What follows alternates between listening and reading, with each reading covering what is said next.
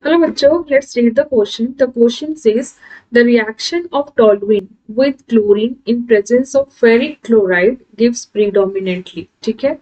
So here the reactant is toluene and it is treated with chlorine in presence of ferric chloride Fe Cl3.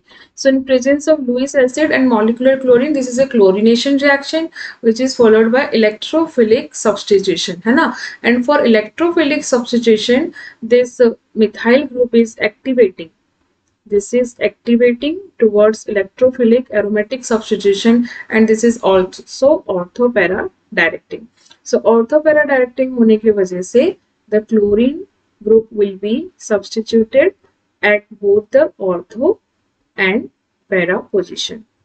So the products are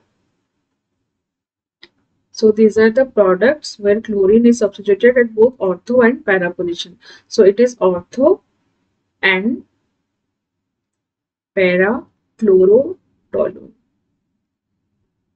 Chlorotoluene. So these are the products.